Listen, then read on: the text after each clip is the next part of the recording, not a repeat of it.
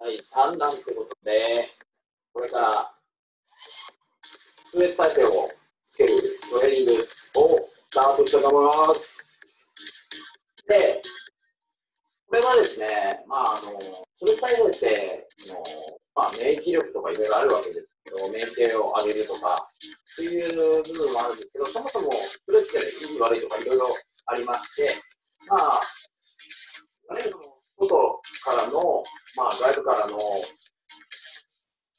刺激に対して体の反応がストレス反応だったりっていうので、自分の反応をコントロールできれば、より、まあ、そっちに引っ張られることなく、自分のやりたいことができたりとか、自分が思ってる通りに体を動かせたり、自分が考えてることがアウトプットできたりとかいう形になるので、まあ、その土台として体をに荷を与えてあげることによって、そのストレスに耐えやすくなる、ストレスに強くなるような体を作っていけたらと思いますので、で、今日その2つとして、まあ、ストレスを感じるのは脳なので、脳からこう指令が来て体に反応が起こります。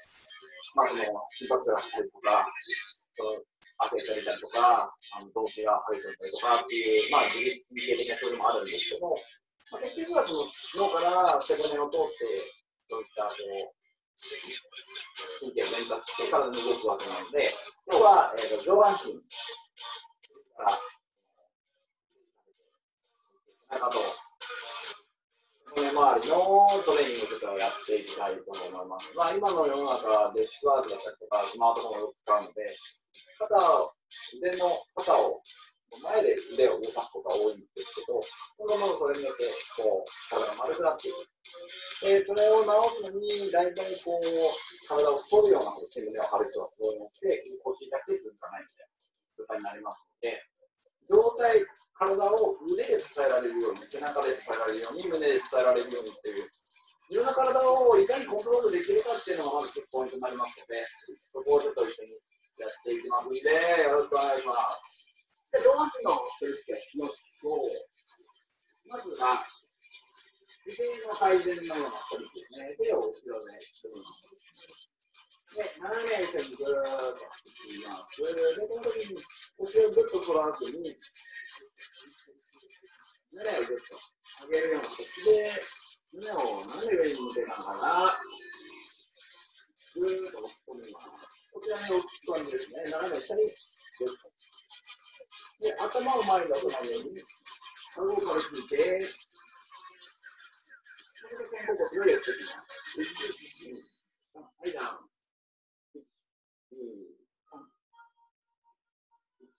お尻から腕を離すんですね。2、3。1、2、3。え、よそ。1、2、3。はい、OK。で、次は、が、なし、正座のようで、お尻を引いて、手を前に伸ばします。背中を伸ばしてで、そのまま一歩ずつ。背中を伸ばします。気持ちがぐらいでこうね、手をちょっとお尻つきます。それを伸びていきます。はい、戻します。首先を見ます。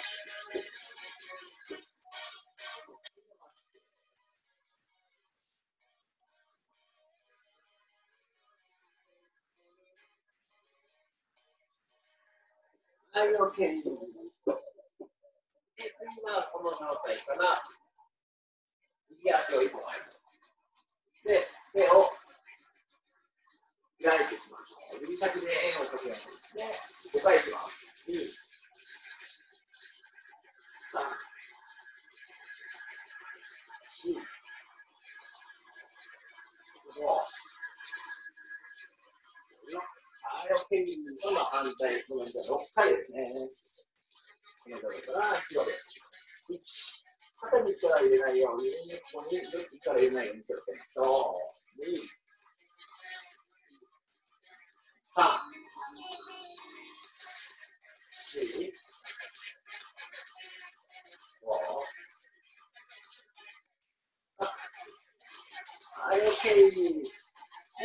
の後は、よく腕周りもするっていう、このような形で、ぐーっとお尻引いて、腕を伸ばします。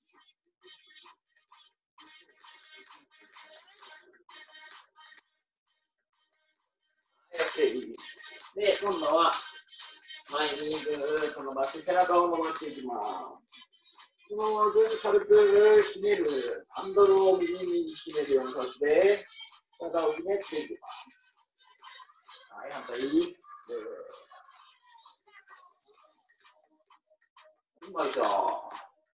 なるべくここがぐっと横にずれないように、ここは、ここから下はそのままの状態で、倒す。倒す。鼻で吸って、口から吐いて、呼吸を止めると体に力が入るので、息を吐きながら動かす。はい、OK です。次は、ちょっとこの状態にして、万歳。手のひらをこの向きのまま万歳して、ぐっと寄せます。右を絞る。W の、ね、2、3、肩甲骨を寄せていきます。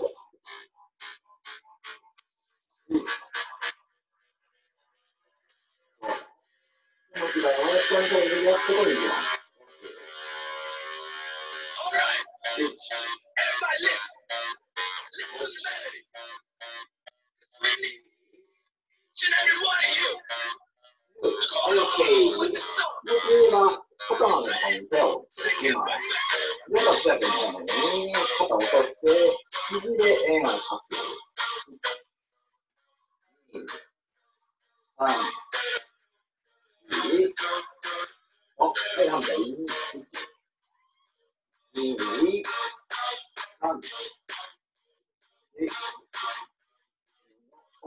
ポイントを入れ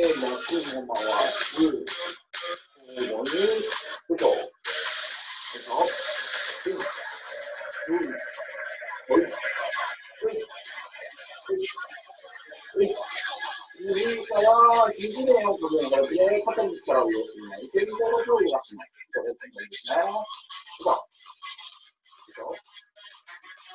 首を前にこうやって一緒に押さない。ように、首はまっすぐのまま、はい、OK。肩周り楽になった方がい。い。と思い。ます。では、これからトレーニングをやってい。きますと、まずは胸。このトレーニング、まあ、胸自体はこれでって不安なんです。で、続い。ては、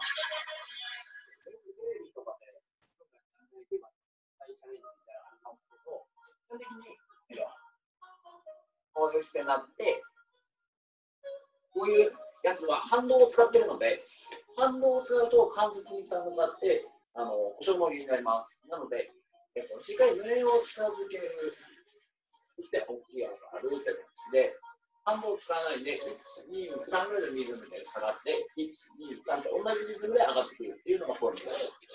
最初は、この状態、手をこんな状態の肩幅ぐらいで手を作る。もしくは肘を。どうしても作り方は、左を取って、肩を曲げて、膝を曲げて、胸がついて、頭をつけるとダメです。胸をつけて、上げる。肘がこう開かないように、このまま上がる。ね、これを10回言います。この状態から、なって、そうです。こんな感じですね。で、このまま胸を使ってる。2、3、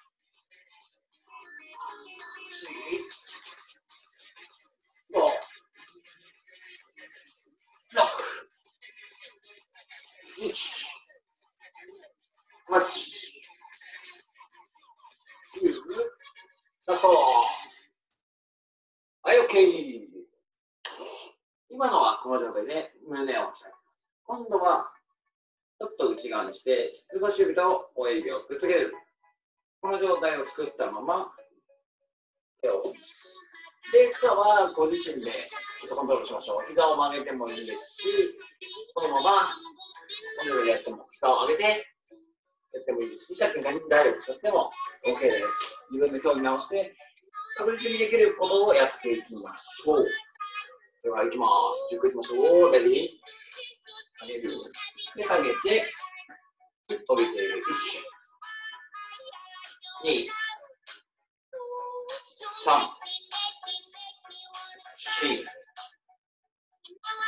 5 6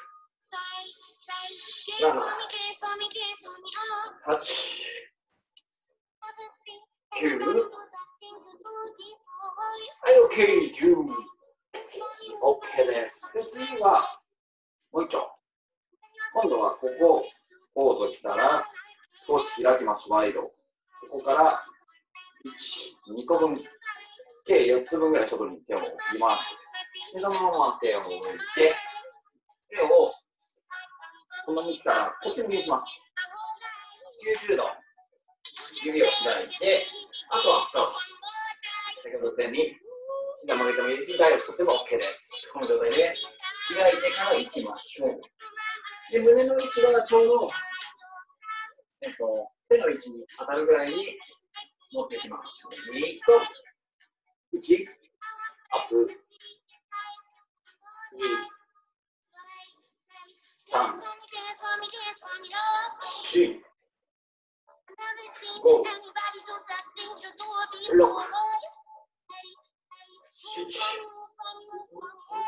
8、9、はい、OK。10回。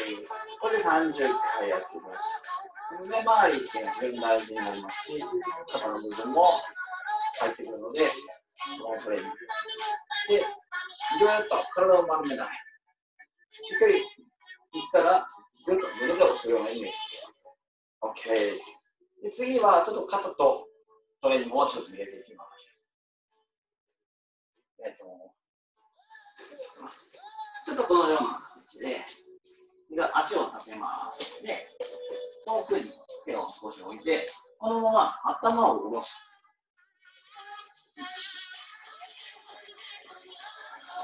まっすぐ下ろして、上がって。頭を下ろして、上がって。はい、きましょう。レディーゴー。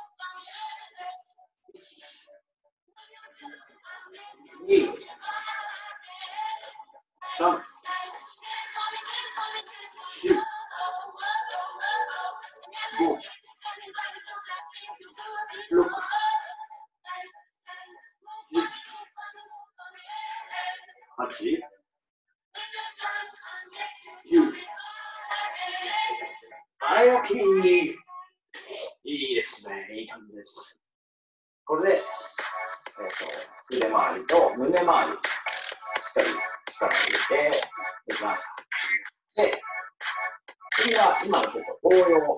これはできる方、ちょっと力が高くなってくるので、あのー、できで自分が管理できるところまでやっていきます。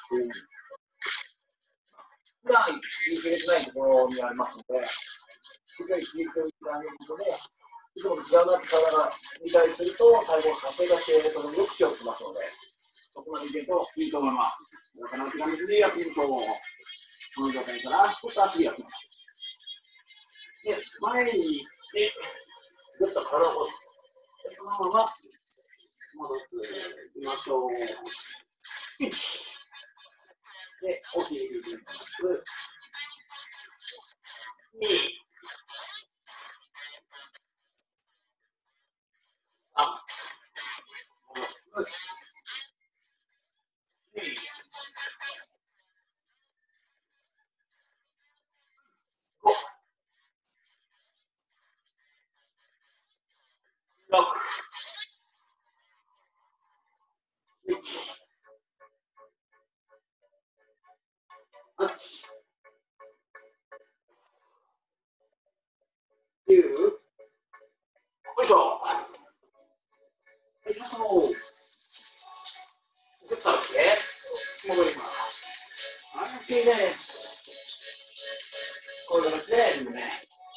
ークで、まあ、この辺をしっかり入れます。で、次は、ちょっとこう、二の上の話。女性は特に気になったりします。中。中は人間見えないので、刺激が加わりにくいところになりますので、そこを少ししていきましょう。前回の動画でちょっとやった部分もあるんですけど、今回は、体幹としてお腹と連動して動します。この状態で、足を伸ばす、動作の姿勢です。例えば、こんな感じ。こちら向きに手を置いて、手が、で、これが丸なのように、ウエストを引っ張られるようにですね、受けばって、頭を落とす。こう、持っていくときだけにしても、こう引きます。で、ゴムも切る。で、はい、きます。レディーゴー。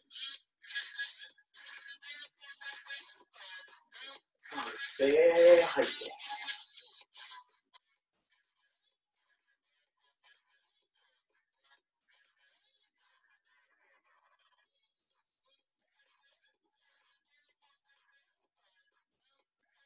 秒い。きましょう。1、2、3、4、5、6、7、8、9、はい。腕を使いながら背中を使ってっていうドライビングになりますね。OK。で、次は、無敵使を作っます。背中と連動して足を動かすようなトレーニングですね。この状態。先ほどおすす。今度は膝を曲げます。で、まず上げる。ブリッジのような姿勢ですね。で、この姿勢から、このぐらいですね。この下から足をちょっと上げます。背中でしっかり押して、背中を使い。ながらキープする。戻す。2、体が落ちない。ようにキープしながら。はい。このまま20回い。きます。1、2、3、4、5、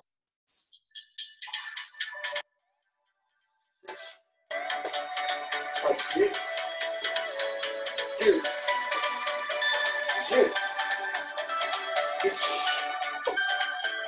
よくそ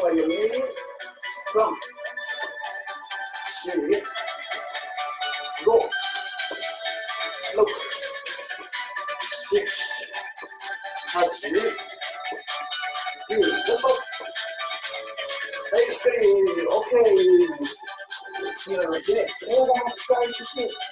ろかけて、カードをしてね、新大事。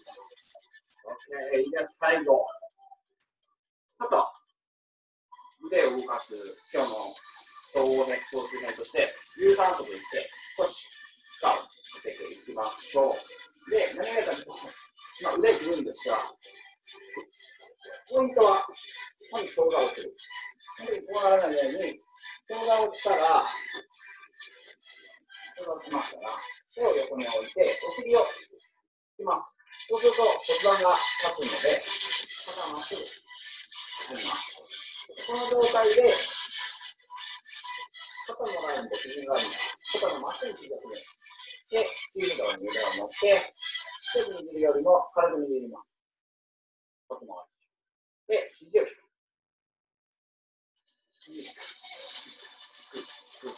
こうではなくて、ここの肩の真下の次は真下から来てる。ここならなにまっすぐ来てます。これをひたすらやす。というところをやっていきますんで、皆さんチャレンジ頑張っていきます。そう、レディー、そう、1、2、3、4、5、6、7、8、9、10。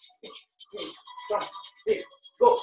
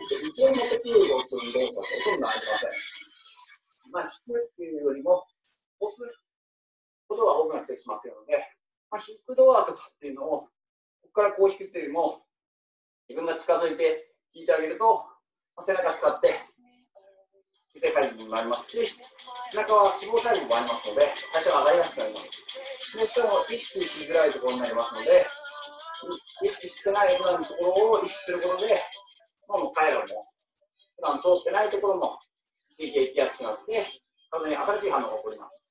まあ、これでいろんな効果、まあ、今言ったところの3点の効果がありますので、これはぜひ上半身トレーニングやっていただけると思いますので、ね、まあ、最後はちょっと、フードダウン終わって、トレーニングしただけで終わると、細胞壊れてる状態。あの修復するために血液循環を良くする、まあ、最後ストレッチをやっていけたらと思いますので、まず、バンドレッシュの。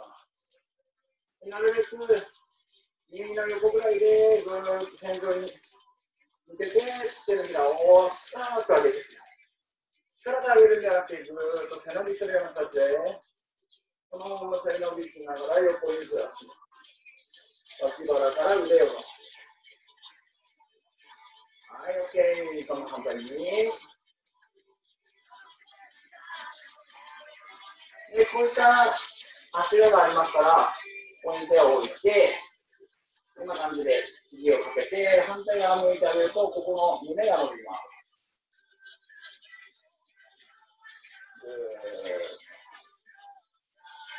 手を伸ばしても構わないです。肘をついた方がよりここが伸びますので、一回伸ばす。こうやってやっても OK です。反対も同様に。この状態で、かけて、反対を向きます。逆です。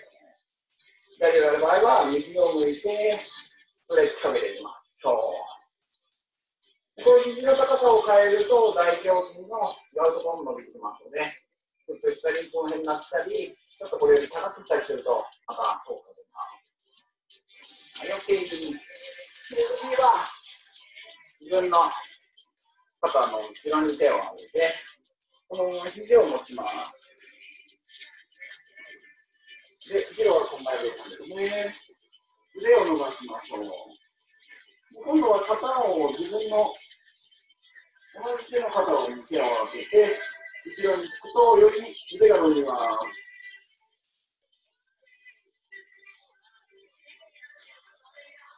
はい、OK、このままできます。まずこっちで、しっかり伸ばします。で、自分の肩持って、ぐーっと。OK。じゃあ次はちょっと背中伸ばしましょう。万歳して寝ます。ぐーっと引いて、そしてこっちの方に持ってみましょう。斜め45度からずつずつ90度にしてここに持ってきながら背中、腕の付け根を伸ばします。お尻はしっかり引いていきましょう。はい、OK、反対。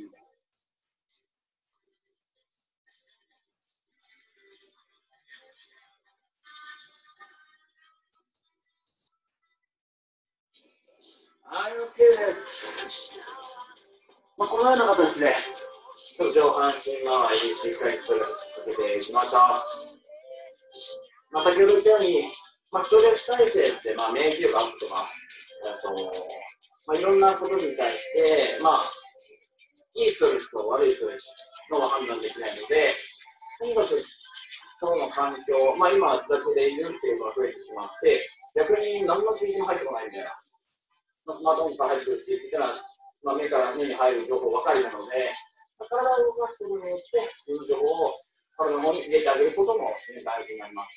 ということで、体に対してまた新たな反応が起きる。で、それが繰り返されることで、そういう作業ができていきますので、ここは削ってやっていきましょう。まあ、家でみんなで一緒にトレーニングできたらと思いますので、ぜひ参加の方よろしくお願いします。で、明日もまたやっていきますので、また後ほど告知お待ちしてください。では、また明日お願いします。